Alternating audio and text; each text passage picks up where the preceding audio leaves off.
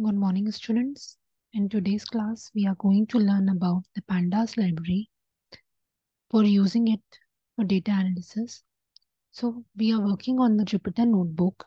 So first we have to call the Pandas library. So for this, in the first cell, we are using the keyword import pandas as PD. PD is the alias name or the short form, which we will be using whenever we are calling the pandas library. So after that running the cell, in the second cell, we are going to call or upload the dataset or the CSV file on which we will be doing the analysis. So for this, we have taken a data. This is a variable name. You can take any other name. And in this, we have given the function pd, that is a pandas library dot read underscore CSV as we are going to read the CSV file. And within the brackets, we have provided the path for that file. Our file name is weatherdata.csv.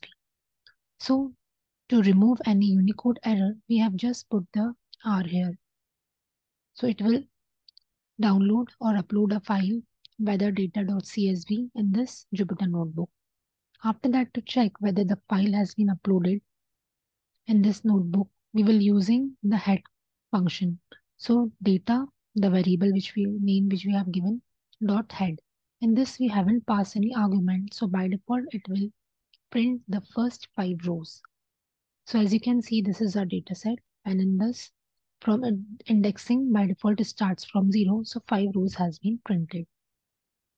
After that, to check the shape of the data set means how many rows and columns are present in this, we will be using the shape function. So data dot shape it will give the output 8784 means this much rows is present and 8 columns are present in this data set.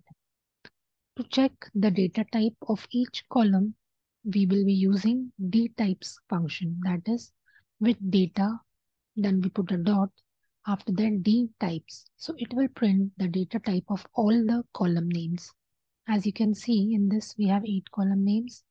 Date time temperature c so you can see that date time has been object, temperature C is float, dew point float, and so on. After that, how many column names are there? If we want to check, we will be using the column function. So for this data dot columns, so it will give the output index as the column names are date, time, temperature, temp C, dew point, temp C, and etc. After that, we will be using the data.index function. It will always gives a plus one value. So as you can see, the range starts from zero and it goes till 8784. As it will gives the plus one index, that why it's starting from zero, but providing you till four. It has taken up by default step one. Now, suppose you want to check that how many unique values means unique number of uh, values are present in each column or the whole data frame or in a particular column. So for this, we use the function unique. Unique is only applied to one column at a time, not on the whole data frame. So uh, we can apply it to one column, not on the whole data frame. It gives all the unique value present in the column. Suppose we have that uh, we have a data set here. In this, we have a weather. Last column is there. So we want to check that how many unique values or unique entries are present in that weather column. So the syntax will be data as our whole data set is present in this variable. And within the square bracket and inverted a single comma, we give the name of that column. So data and weather. Weather is the name of the column present in data and in this we call a function dot unique. So it will, as you can see, it will give a array of all the unique values which are present in this weather column. Now the next should be, suppose we want to count the number of unique values. Here we have printed all the unique values that what are that. And suppose you want only the count of that unique values or the number of unique values. For this, we will be using n unique function. N unique can be applied on a single column as well as a whole data frame. So this is the difference between the unique and n unique. Unique applies only on the single column and unique is applied on the whole data frame as well. It gives the number of unique values in each column. Suppose we are using the same column from the dataset which is present in this variable and dot n unique. We apply this function on this. So it gives a 50 means 50 unique values are present in this weather column. And this this syntax was for only the one column. Suppose you want to get the n unique or number of unique values in each column. So for this, for the whole data set which is present in the data variable, we call this function n unique. So it gives date time. It has 8784 entries which are unique. The next column that is temp C, it has 533 values are unique and so on. Weather has 50 values are unique as we have already seen here. So we can use the n unique to get the number of unique values in each column or in a whole data frame. Suppose we want to count the null values. So count function gives the number of non-null values in each column and it can also be applied to a single column or a whole data frame. So suppose you want to count the non-null values in present in whole data frame. So we use the variable in which our whole data set is present, that is data.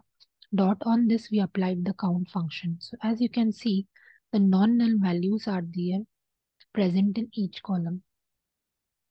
Or suppose we want to count only on a specific column. So the syntax will be data, the name of that column, and after that dot count. So it will give the count of the non-null values present in only this column. So this is 8784.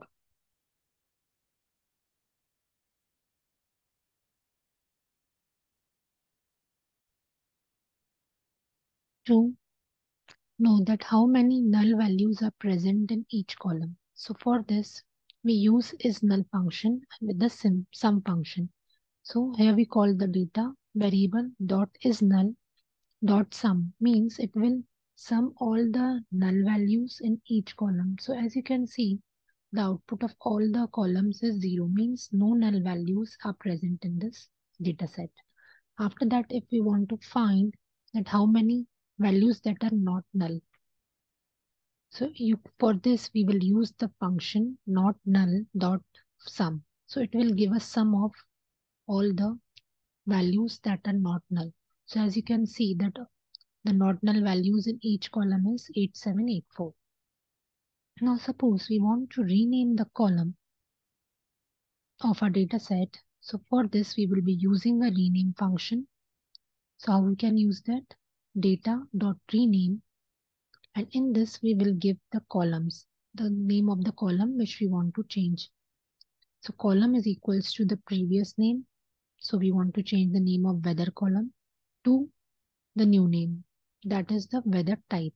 And after that we put a comma in this. And in place equals to true. In place equals to true means the output or the changes should be made made in the real dataset also so to check that the real dataset or the dataset which has been present in our data is changed or not so data dot head and in this we have given argument 2 so if we give 2, it means it will print only two rows. So as you can see, the, the previously it was weather column name and now it has been changed to weather type.